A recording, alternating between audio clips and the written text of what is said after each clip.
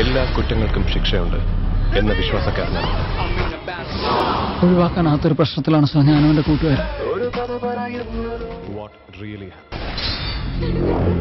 Action romantic hero പൃഥ്വിരാജിന്റെ ശക്തമായ നായകവേഷം ത്രില്ലർ മൂവി സെവൻത് ഡേ വ്യാഴാഴ്ച വൈകുന്നേരം നാല് മണിക്ക്.